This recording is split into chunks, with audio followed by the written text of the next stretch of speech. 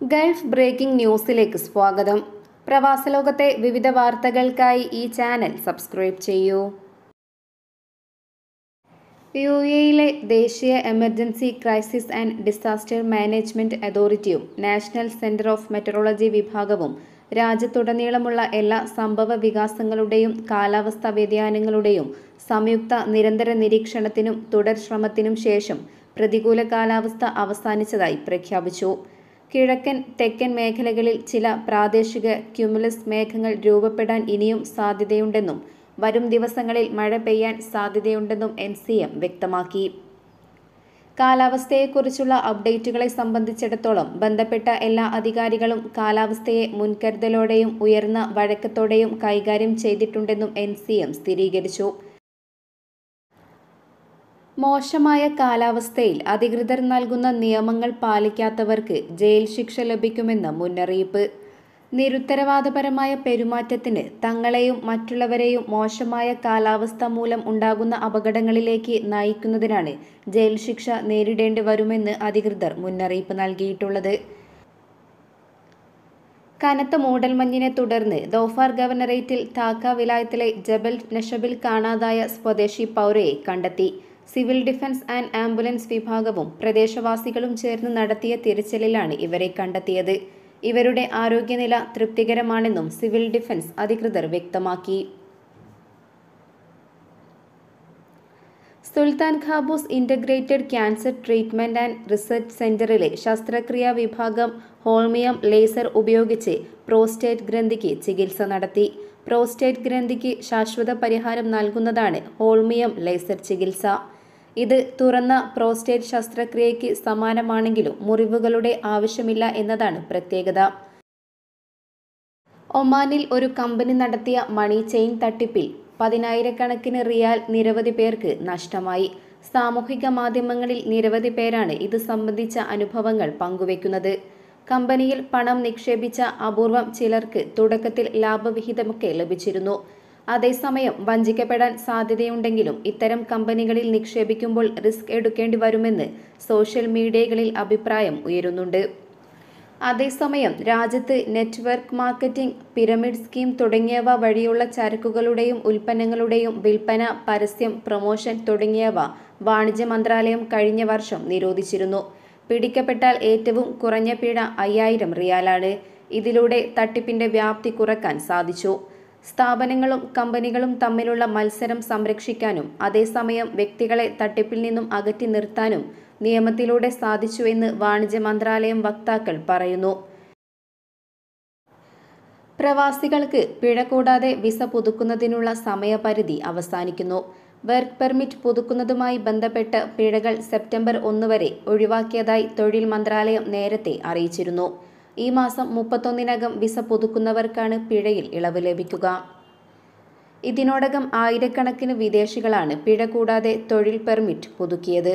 നേരത്തെ വിസ കാലാവധി കഴിഞ്ഞ് പുതുക്കാൻ കാത്തിരുന്നവർ കഴിഞ്ഞ മാസങ്ങളിൽ പിഴ കൂടാതെ തന്നെ വിസ പുതുക്കി. വിസ നിരക്ക് ഉയർത്തിയതിനെ തുടർന്നാണ് ഇവർക്ക് നേരത്തെ പുതുക്കാൻ സാധിക്കാതിരുന്നത്. ഉയർന്ന തസ്തികകളിൽ രണ്ടായിരം റിയാൽ വരെയായിരുന്നു തൊഴിൽ പെർമിറ്റ് നിരക്ക്. ഇത്രയും തുക മുടക്കി വിസ പുതുക്കാൻ കഴിയാത്ത സാഹചര്യത്തിൽ നിരവധി പ്രവാസികളാണ് കഴിഞ്ഞ മാസങ്ങളിൽ രാജ്യത്തേക്ക് പോയത്. ചിലർ തൊഴിൽ പെർമിറ്റ് നിരക്ക് കുറഞ്ഞ തസ്തികകളിലേക്ക് മാറുകയും ചെയ്തു. വിസ പുതുക്കാതെ തുടർന്നവരാണ് ഈ മാസം മുപ്പത്തൊന്ന് വരെയുള്ള പിഴ ഇളവ് ഉപയോഗപ്പെടുത്തി വിസ പുതുക്കുന്നത്. ഇതിനിടെ ജൂൺ ഒന്ന് മുതൽ പരിഷ്കരിച്ച വിസ നിരക്കും പ്രാബല്യത്തിൽ വന്നിരുന്നു. വലിയ കുറവാണ് നിരക്കുകളിലുണ്ടായത്. നിരക്കുകൾ കുറഞ്ഞതിനോടൊപ്പം വിസ പുതുക്കൽ നടപടികൾ വേഗത്തിലാക്കുന്നതിന്റെ ഭാഗമായി തൊഴിൽ മന്ത്രാലയം പോർട്ടൽ പരിഷ്കരിക്കുകയും ചെയ്തിരുന്നു. പുതിയ തൊഴിൽ പെർമിറ്റ് എടുക്കുന്നവരും വിസ പുതുക്കുന്നവരും വർദ്ധിച്ചതോടെ ഇത് സംബന്ധമായ സേവന മേഖലകളിലെല്ലാം തിരക്ക് വർദ്ധിച്ചിട്ടുണ്ട്. മന്ത്രാലയം പോർട്ടൽ വഴിയും സേവനങ്ങൾ എളുപ്പമാക്കിയിരിക്കുകയാണ്. രാജ്യത്തെ ഭരണാധികാരി സുൽത്താൻ ഹൈത്തം ബിൻ താരിഖിന്റെ നിർദ്ദേശത്തിന്റെ അടിസ്ഥാനത്തിലാണ് തൊഴിൽ വിസ നിരക്കുകൾ തൊഴിൽ മന്ത്രാലയം പുതുക്കിയത്. മുന്നൂറ്റൊന്ന് റിയാലാണ് നിലവിൽ ഏറ്റവും ഉയർന്ന തൊഴിൽ വിസ നിരക്ക്. കുറഞ്ഞ വിസ നിരക്ക് നൂറ്റൊന്ന് റിയാലാണ്. സ്വദേശിവൽക്കരണ തോത് പൂർണമായി നടപ്പിലാക്കുന്ന കമ്പനികൾക്കും സ്ഥാപനങ്ങൾക്കും എൺപത്തഞ്ച് ശതമാനം വരെ വിസ ഫീസ് ഇളവ് ലഭിക്കും. അതേസമയം പുതുക്കിയ തൊഴിൽ പെർമിറ്റ് നിരക്ക് പ്രാബല്യത്തിൽ വന്നതോടെ തൊഴിൽ വിപണിയിൽ ഉണർവുണ്ടായിട്ടുണ്ട്. പുതിയ വിസ വിലക്കുകൾ കൂടി പ്രഖ്യാപിച്ചു എങ്കിലും മറ്റ് തസ്തികകളിൽ കുറഞ്ഞ നിരക്കിൽ വിസ ലഭ്യമാകുന്ന സാഹചര്യത്തിൽ പുതിയ തൊഴിലാളികളെ നിയമിക്കുന്നതിനും കാലാവധി കഴിഞ്ഞവരുടെ വിസ പുതുക്കുന്നതിനുമുള്ള ശ്രമങ്ങളിലാണ് കമ്പനികൾ. പുതിയ വിസ നിരക്കുകൾ റിക്രൂട്ട്മെന്റ് സജീവമാക്കുകയും പ്രവാസികൾക്ക് തൊഴിൽ അവസരങ്ങൾ രൂപപ്പെടുത്തുകയും ചെയ്യുന്നു. ഒമാൻ ഉന്നത വിദ്യാഭ്യാസ ഗവേഷണ ഇന്നൊവേഷൻ മന്ത്രാലയത്തിന്റെ വാർഷിക ദേശീയ ഗവേഷണ പുരസ്കാരം ഒമ്പതാമത് എഡിഷന്റെ രജിസ്ട്രേഷൻ ആരംഭിച്ചു. സെപ്റ്റംബർ ഇരുപത്തഞ്ച് ഞായറാഴ്ച ഉച്ചയ്ക്ക് രണ്ട് മണിവരെ അപേക്ഷ സമർപ്പിക്കാം. രണ്ട് വിഭാഗങ്ങളായാണ് ദേശീയ ഗവേഷണ പുരസ്കാരങ്ങൾ. പി എച്ച് ഡി ഹോൾഡർ അല്ലെങ്കിൽ തത്തുല്യ യോഗ്യതയുള്ളവർ നയിക്കുന്ന മികച്ച പ്രസിദ്ധീകരിച്ച ഗവേഷണം ഒരു യുവ ഗവേഷകൻ നയിക്കുന്ന മികച്ച പ്രസിദ്ധീകരിച്ച ഗവേഷണം എന്നിങ്ങനെയാണ് രണ്ട് വിഭാഗങ്ങൾ. ആറു മേഖലകളിലായാണ് ഗവേഷണങ്ങൾ പുരസ്കാരത്തിന് പരിഗണിക്കുക. വിദ്യാഭ്യാസം മനുഷ്യ വിഭവശേഷി ഇൻഫർമേഷൻ ആൻഡ് കമ്മ്യൂണിക്കേഷൻ ടെക്നോളജി ആരോഗ്യം സാമൂഹിക സേവനം സാംസ്കാരികം സോഷ്യൽ ബേസിക് സയൻസസ് ഊർജം വ്യവസായം പരിസ്ഥിതി ജൈവ വിഭവങ്ങൾ എന്നിവയാണ് ഗവേഷണ മേഖലകൾ. ഖരീഫ് സീസൺ ആസ്വദിക്കാൻ സലാല അന്താരാഷ്ട്ര വിമാനത്താവളം വഴി മൂന്ന് ലക്ഷത്തിൽ പരം സഞ്ചാരികളെത്തി ജൂൺ അവസാന വാരം മുതൽ ഓഗസ്റ്റ് പതിമൂന്ന് വരെയുള്ള ദിവസങ്ങളിലെ കണക്കുകളാണ് ഒമാൻ വാർത്താ ഏജൻസി പുറത്തുവിട്ടത്. മൂന്ന് ലക്ഷത്തി പതിനയ്യായിരം പേരാണ് ഈ കാലയളവിൽ സലാല വിമാനത്താവളം വഴി യാത്ര ചെയ്തത്. ആഴ്ചയിൽ നൂറ്റി തൊണ്ണൂറ്റഞ്ച് വിമാന സർവീസുകളാണ് സലാല വിമാനത്താവളത്തിൽ എത്തുന്നതും ഇവിടെ നിന്ന് പുറപ്പെടുന്നതും. അതേസമയം ഖരീഫ് സീസൺ അവസാന ആഴ്ചകളിലേക്ക് എത്തിയതോടെ സഞ്ചാരികളുടെ എണ്ണവും വർദ്ധിച്ചു വരികയാണ്. സെപ്റ്റംബർ ഇരുപത്തൊന്ന് വരെയാണ് ഔദ്യോഗിക ഖരീഫ് കാലം. കഴിഞ്ഞ രണ്ട് വർഷങ്ങളിൽ വലിയ ആഘോഷങ്ങളില്ലാതെ കഴിഞ്ഞുപോയ ഖരീഫ് കാലത്തിന് ശേഷം ഇത്തവണ നിയന്ത്രണങ്ങളില്ലാതെ എത്തിയ വസന്തകാലത്തെ ആഘോഷപൂർവമാണ് ദോഫർ ഗവർണറേറ്റ് വരവേറ്റത്. ഒമാന്റെ മറ്റ് ഭാഗങ്ങളിൽ നിന്നും ഇതര ജി സി സി രാഷ്ട്രങ്ങളിൽ നിന്നും യൂറോപ്യൻ രാജ്യങ്ങളിൽ നിന്നുമെല്ലാം ആയിരക്കണക്കിന് സഞ്ചാരികളാണ് ഇവിടെ എത്തിയത്. ജി സി സി രാഷ്ട്രങ്ങളിൽ നിന്നും വിമാന കമ്പനികൾ ഖരീഫ് കാല പ്രത്യേക സർവീസുകൾ നടത്തിവരുന്നു. സലാലയിലെയും പരിസര പ്രദേശങ്ങളിലെയും ഹോട്ടലുകളിലും ഇത്തവണ വലിയ ബുക്കിംഗ് ആണ് ഉണ്ടായത്. ബലിപെരുന്നാൾ അവധി ദിവസങ്ങളിലായിരുന്നു കൂടുതൽ തിരക്ക് അനുഭവപ്പെട്ടത്.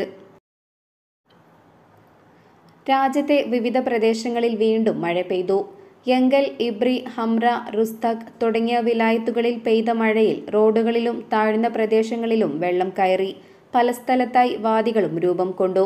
മഴ തുടരുമെന്ന് കാലാവസ്ഥാ നിരീക്ഷണ കേന്ദ്രം അറിയിച്ചിട്ടുണ്ട്. ചില സ്ഥലങ്ങളിൽ കനത്ത മഴ ലഭിച്ചപ്പോൾ ചില സ്ഥലത്ത് ചാറ്റൽ മഴയാണ് പെയ്തത്. പടിഞ്ഞാറൻ വിലായത്തുകളിലെ പല സ്ഥലങ്ങളിലും മഴയിൽ വെള്ളക്കെട്ടുകളുണ്ടായി. വാദികളിലൂടെ ഒഴുകിയെത്തിയ വെള്ളം റോഡുകളിലും പരന്നൊഴുകി. ഇബ്രയിലും ഭേദപ്പെട്ട മഴ ലഭിച്ചുവെന്ന് റിപ്പോർട്ടുകൾ വ്യക്തമാക്കുന്നു. രാവിലെ മുതൽ ഈ മേഖലയിൽ മൂടിക്കെട്ടിയ അന്തരീക്ഷമായിരുന്നു. ഉച്ചയോടെയാണ് ശക്തമായ മഴ പെയ്തത്. അടുത്ത ദിവസങ്ങളിലും വിവിധ ഭാഗങ്ങളിൽ മഴയ്ക്കുള്ള സാധ്യതയുണ്ട്. ഈ മാസം ആദ്യത്തിൽ ശക്തമായ മഴ ലഭിച്ചിരുന്നു. മസ്കറ്റിലെ പർവത പ്രദേശങ്ങളിൽ ആവശ്യവസ്തുക്കൾ royal air force of Oman എത്തിച്ചു. വിദൂര പ്രദേശങ്ങളിലേക്കാണ് ഉപഭോഗ വസ്തുക്കൾ എത്തിച്ചത്. കൊറിയാത്തിലെ സായ പ്രദേശത്ത് താമസിക്കുന്നവർക്കാണ് ഒമാൻ റോയൽ എയർഫോഴ്സ് ഉപഭോഗ വസ്തുക്കൾ എത്തിച്ചതെന്ന് പ്രതിരോധ മന്ത്രാലയം അറിയിച്ചു.